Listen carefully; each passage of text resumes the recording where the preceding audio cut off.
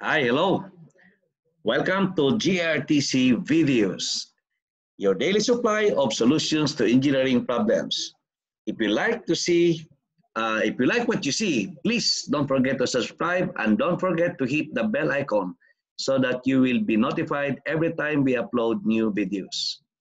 In this video, we will discuss the design of singly reinforced rectangular beam. I divided this uh, video into three parts.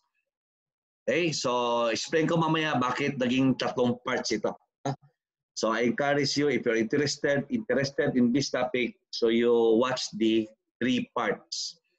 Okay, so in this video we are given the beam dimensions, uh, the width, the effective depth, the service loads dead and alive, and the material strengths FC prime and FY.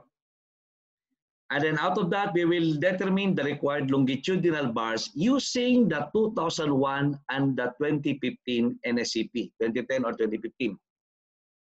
So this is a very interesting topic kasi na-notice ko maraming mga students na yung alam pa lang nila is the 2001. Although they graduated recently, but yun yung exposure nila. No? So tingnan nyo, para ma-differentiate ninyo yung pagkakaiba yung iba naman ayaw pumasok sa 2050 kasi parang, ah, I'm comfortable with 2001. Tinan nyo, panoorin nyo itong video, makikita nyo ano ba yung pagkakaiba nila. May mga similarities ba sila? How will it be done? Okay. So ito yung ating uh, given values. Given yung beam dimensions, B. For simplicity, I'll just give the effective depth. Although the effective depth will be affected by the covering, by the number of bars, but for simplicity lang, for illustration purposes, let's have an effective depth known. Okay? And then uh, FC prime, FY, and then the loads. So I will not give, I will not, uh, we cannot compare the 2010 and 2001 if we will start with the factored load or the required strength. Kasi magka, magkaiba yung load factors nila. If you want to compare the two apple to apple, you have to start with service loads without the load factors yet. Kaya ito yung gagawin natin dito. So we are going to determine the required steel area using the bolts. And then if necessary, kung kailangan, no, yung compression bar, we will put that the centroid being 65 mm from the extreme fiber kung kailangan. Kasi i-determine pa natin mamaya kung singly ba ito or doubly reinforced. Alright? Unahin natin yung 2001 NSCP. In 2001 NSCP, the reduction factor is constant. It is always 0.9, no matter if it is uh, over-enforced, under-enforced, or balanced, whatever condition is that 0.9. And then our beta 1 is equal to 0.85 kasi yung FC prime natin ay hindi lumagpas ng 30 MPa. Okay. And then yung ating row balance, okay, ito yung formula that is based on uh, the galing yan sa strain, no? 0.003 yung strain in concrete and FY yung FY over ES yung strain in steel. By the way, yung ES, we are using 200,000. Kaya naging 600 MPa yan. Kasi that's 200,000 times 0.003. Ah, for your information lang. So, makukuha natin yung raw balance, 0.0283. Then yung raw max, okay? Necessary yan in the design of, sing, uh, of beam sa 2001. 0.021 ang ating Romax. Okay? Yung roaming naman, titinan natin, dalawa yung roaming ha. Ang sinabi ng code, the roaming is computed using this formula, okay? Which turns out to be that, but it shall not be less than this formula. Okay? It shall not be less than. Okay? So ito. Kung napansin nyo, mas malaki itong 1.4. So we will use this value for our roaming. Okay? Uh, by the way, for your information lang, you may not check on this anymore uh, the value of FC prime that will uh, that this will govern for the roaming, yung value ng FC prime dyan is 31.36. Makukuha mo yan by equating this and that. So 4 times 1.4 quantity raised to 2, that's 31.36. So meaning only if FC prime is more than 31.36, tsaka ko gagamitin to. If your FC prime is less than 31.36, I will use this formula para mabilis. Okay. So, next, kumpitin natin yung required strength. Ah, MU. Ah, yung sila sa, sabi ng iba, ultimate moment. No, no, no. That's not the ultimate moment. The required strength yan. Factored load. Galing ng factored load. So, okay, we will we are using 2001, so that will be 1.4 dead plus 1.6 live. The dead is 60, the live is 80. Okay, so it's equal to 220 kilonewton meter. Okay, ngayon, hindi pa natin to alam kung singly ba ito or doubly reinforced. Ito yung ano doon, problema. Ha? So, anong gagawin natin? There, there are two ways to do this. Pwede natin computein yung MU, yung design strength niya, maximum design strength na singly siya. But it will take mahabang steps. No? Another is, we can assume this beam to be singly reinforced. Okay? Madali lang to. Assuming singly reinforced, we can use this formula. Rn, mu over phi bd squared. So with mu equals 220 and bd known, phi is equal to 0.9, makukuha natin yung Rn. Okay? I just substituted the values. Rn is 3.259. Then you compute your rho. Okay, ito yung formula. 0.25 FC5 over Fy times this quantity. All right? That will give you 0.00849. Okay? Kung pansinin nyo, mas malaki siya kaysa sa Romin. So no problem. And mas maliit siya kaysa sa Romax. Meaning, this still will yield and it's okay to design the beam singly reinforced. Hindi siya yung row na required natin, a singly reinforced, hindi lumagpas doon sa Romax. So we can design this beam as singly reinforced. Alright? So ibig sabihin, this row is okay. Okay na itong row na to. Then makukuha na natin yung AS. AS is row BD. Okay? Uh, that is 1274 and that is now your answer.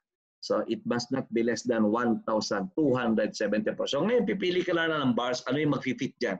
Uh, we will not discuss na lang that one. Ha? Ito illustration lang on how to design para hindi tayo mawala sa topic natin. Okay? Iba kasi ilang bars ba yan, sir? Eh, depende na yan sa number of bars. Ano ba yung bars na gagamitin natin? That will be a different discussion. I-discuss lang natin muna dito yung theory behind getting the required number of bars. Okay, I hope you understand. Para let's categorize, let's compartmentalize the discussion. Okay, now let's have 2010 or 2015. Pareho lang naman yung 2010 at 2015. Okay, start with beta 1. Your beta 1 is still equal to 0.85, na? Kasi less than 28 MPa yung ating FC prime. Kasi kung more than 28, unlike here, 30 MPa. Na? Ito less than 28. So kung more than 28, iba yun. Di ba? May formula yun. It will be reduced by the, at the rate of 0.05 in every 7 MPa of stress of uh, MPa in each 1 MPa of stress in excess of 28 MPa. Dito kasi 30 MPa yung basis. Alright. The row balance is still the same. Pareho yung formula. Wala naman yan. Galing naman yan sa strain diagram. The same formula yung row balance natin. Okay? Ayan. Yung roaming natin, the same pa rin. Ganito pa rin yung process pagkuha ng roaming in 2010 or 2015. So you have 0.00337. Okay? Pero wala tayong Romax. Ha? Hindi na natin ito gagamitin. Wala yan sa 2010 or 2015. Although there is a limit on the uh, steel strain 0.004 but it was not stated as Romax in that code. Unlike here, maximum talaga yung naka-state talaga doon sa code na maximum yan. Okay. Now, the required strength, just like what we did here. So the required strength, MU, is 1.2 dead plus 1.6 live. These are the load factors for dead and live in 2010 or 2015. So that's 200 kilonewton meter. So similar to previous condition, 2001, hindi pa rin natin alam kung singly ba ito or doubly reinforced. Uh, let's not connect it from here para talagang separate talaga ito ha. Now, ganun pa rin. Assuming singly reinforced beam ito. But not only that, assuming tension control. Kasi alam nyo, sa 2010 kasi, yung fee natin hindi permanente 0.9. Kapag tension control, 0.9. Kapag compression control, 0.65. Kung rectangular yung ating ties. No? And then kapag transition zone, that will be different. Ah? So, wala, ano, hindi siya fixed. Kaya alamin pa natin ito mamaya. So let's assume lang muna that this is tension control. Of course, when you say tension control, you're assuming that steel will yield. Ah? Kasi steel yields if it is tension controlled and of course transition zone. Ha? So, okay. Assume natin na point 9 muna. You can watch this in our, we will be discussing this in the other parts of the tension control, control. We will discuss it further. Alright, so the same formula. Ito pa rin. Rn, mu over VBD squared. Makuha natin yung Rn. Then, that's the 2.963. And then, makukuha na natin yung rho. The same formula here. Ito pa rin yung formula mo. Ah? Okay, so yun, substitute natin, and that is 0.00766. Of course, that is greater than rho mean, so okay siya. And it is less than rho balance. Ibig sabihin, this is, uh, the tension still will yield, of course. Ha? Tama yung inassume natin na 0.9 talaga. Okay? The tension still will yield. Okay? Pero this is not yet enough proof that 0.9 na yung gagamitin natin. We still have to check mamaya after we get the AS, i-check muna natin kung talagang tension controlled ba ito. Ganon ka medyo complicated yung 2010. Hindi kaya dito na pag na-assume mo na na more than uh, less than Romax, tuloy-tuloy ka na. Dito hindi pa. Ha? Okay. So let's move on. So after row, just like what we did here, kunin natin yung AS. Okay, ito yung AS. Then, kukunin natin yung FS. Kasi para malaman natin content, talagang point 9 ba yung gagamitin natin. So to get AS, FS, you have to solve for C and you have to solve for A. So let's consider this diagram. I know you're very familiar with this. Na? So ito yung compressive force in concrete and the tensions in steel. Okay? So equating that, compressive force in concrete equals tension in steel, ang purpose natin, makukuha natin yung A makuha natin yung A. O, makikita niyo yan dito, A is Fy over that these terms. Okay? So yung A natin is 68 mm. Then masolve na natin yung C. A over beta 1. Okay? So that will give you 80 mm. Then after that, masosolve na natin yung stress in tension steel. Okay, ito yung formula. By the way ha, pasintabi lang, uh, this is designed sa nakapag, this is review. So I don't expect those who are new to this who can get this immediately. This may not be the right avenue sa inyo. Meron talaga kaming review, online review that will discuss everything from the beginning. But we cannot do it here. Napakahaba nun. Ha? If you want, we have our online review. We will be launching it soon. No, before June, ililaunch namin yung online review na talagang starting from the beginning. Anyway, so you have now your FS. Isipin nyo lang, itong video na to, free pa to. How much more sa online review? Ano kaya yung picture namin? Okay. So your FS is, yun, 3150. Now, it's more than, if you compute the strain of that, it's more than 0.005. But sometimes kasi pag strain yung comparison natin, mahirap yung ma-picture out. Maganda yung stress. No? it will be tension controlled if the tension in the extreme steel fiber, tension steel, is more than equal to or more than 1,000 MPa. This is more than 1,000 MPa. Ibig sabihin, talagang tension control to. Your fee is 0.9. Of course, singly reinforced siya. Then your assumptions is correct here. Your assumption is correct.